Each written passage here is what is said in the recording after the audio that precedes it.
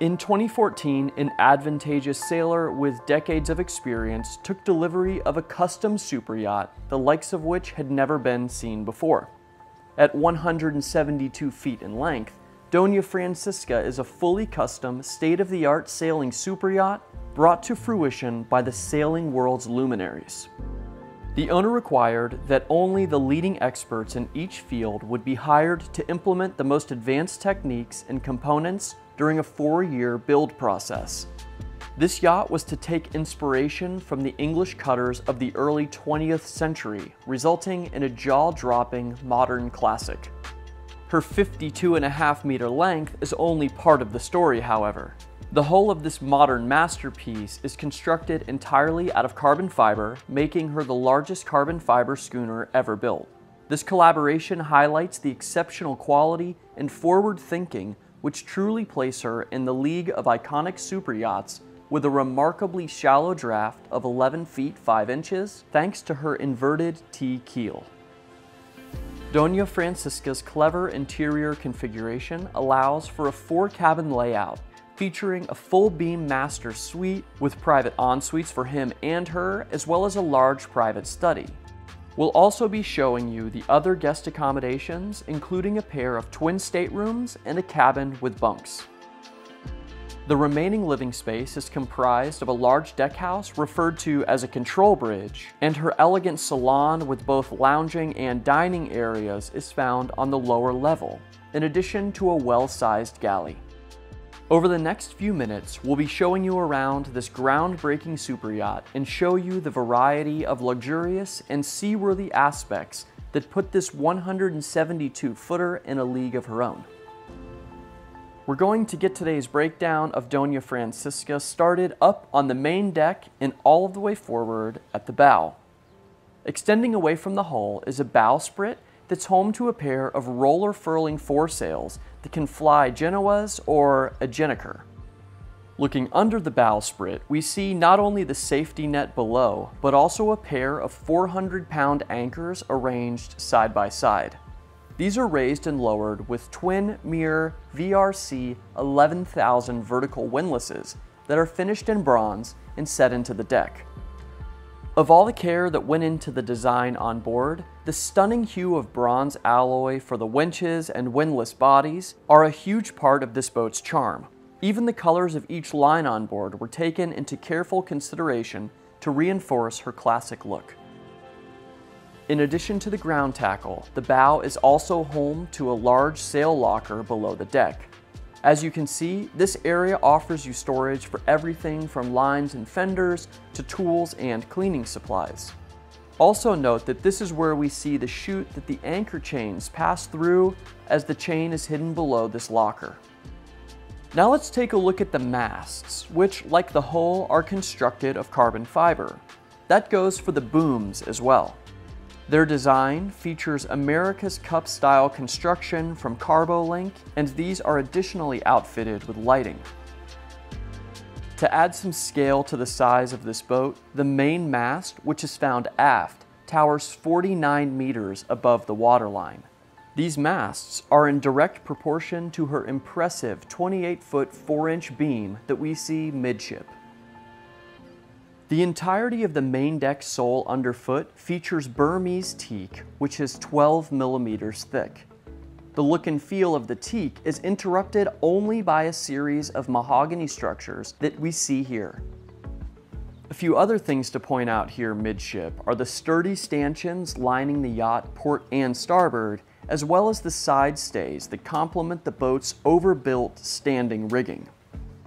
Below the forward boom is where Doña Francisca's tender lives.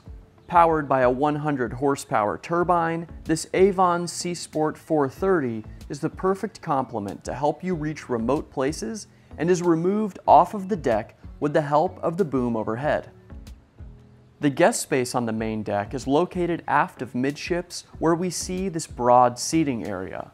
This is where you find the majority of your outdoor seating, which is built in using mahogany and is covered overhead by a fixed bimini. When it comes to the seating itself, there are a pair of L-shaped settees that are accompanied by two tables with expandable leaves. Rounding out the seating area is a long bench seat next to the entrance into the upper salon, which we'll come back to in a few minutes. There's another covered area just aft, which is where we find the helm. You'll notice that you actually step down into this area, which helps with visibility below the sails and the boom. This makes for a safe, protected area to experience the full power of this sailing yacht when your guests join you underway. It's in these times off the dock that you can appreciate the 17 knot top speed that Dona Francisca can reach when under sail. When the sails are down and she's under power, she has a cruise speed of 10 knots and a top speed of 14. Aft of the helm is an open deck space where the crew has access to an expansive lazarette below a pair of deck hatches. It's down here below decks that we see a space utilized in several ways. Not only is it a huge area for storage, but this is also where we see her steering system. This is located directly below the main helm wheel on the deck above. This area is conjoined with a complementary technical room forward. It's here that the crew has unobstructed access to a few critical systems, such as the yacht's shore power converter units and a 100 horsepower retractable hydraulic stern thruster. Now that we've covered the exterior deck spaces and the sail plan, it's time for us to step inside. The primary point of entry for guests is what's referred to as the control bridge, which doubles as the upper salon. This control bridge moniker comes from the interior helm seen in the forward starboard corner. This is home to a full array of controls over the yacht's various systems. Some of what we see here includes a pair of Simrad multifunction displays, AIS, autopilot, as well as B&G displays.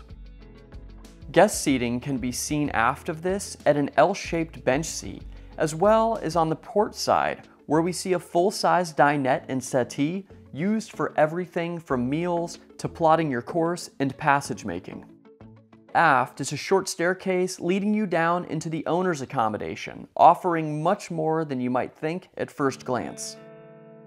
Occupying the total beam, this stateroom is split into two different parts. First, we have the sleeping accommodation, featuring a forward-facing king berth surrounded by storage.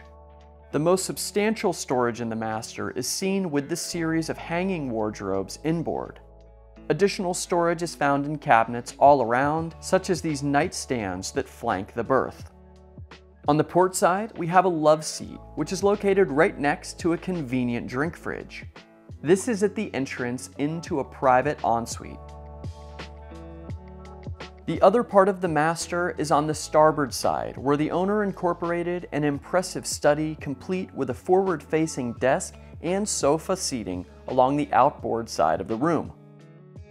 Located forward in here is the entrance into the yacht's dayhead. Of note in the immediate area is the first of two primary lower deck entrances into the engine room, which is found just outside of the owner's accommodation.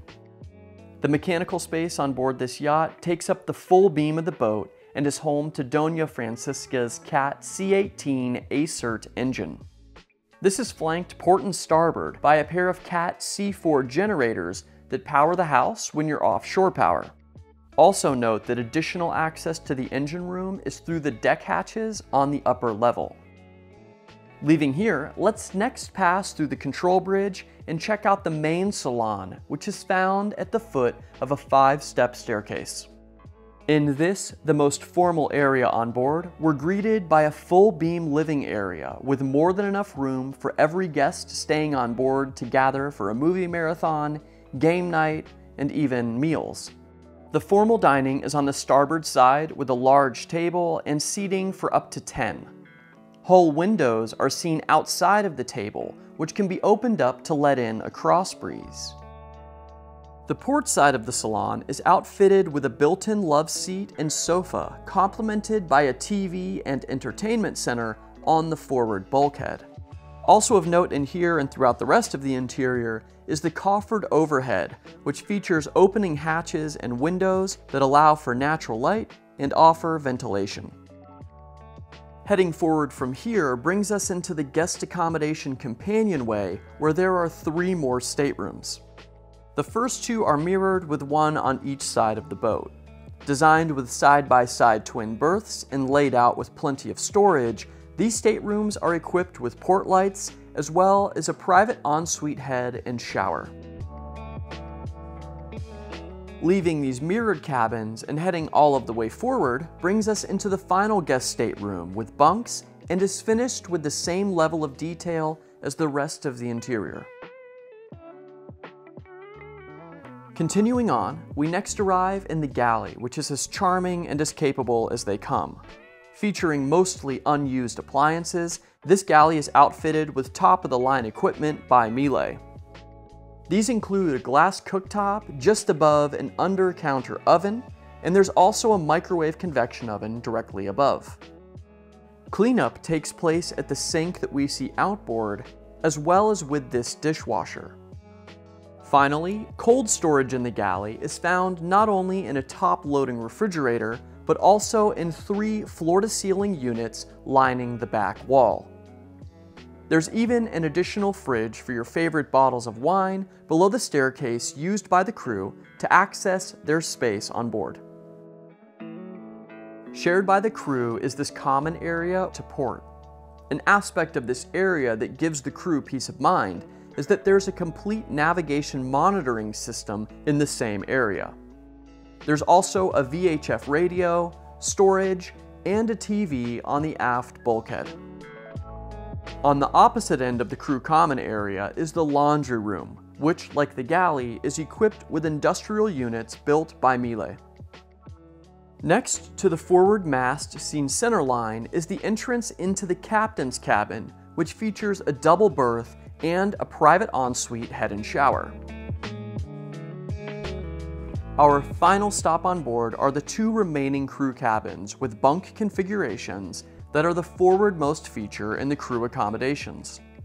These each have private stalls with a head and vanity, and they share a centerline shower stall. Thanks for joining us on today's walkthrough of Dona Francisca. If you have any more questions or would like to see her in person, feel free to reach out to Denison Yachting broker David Johnson anytime.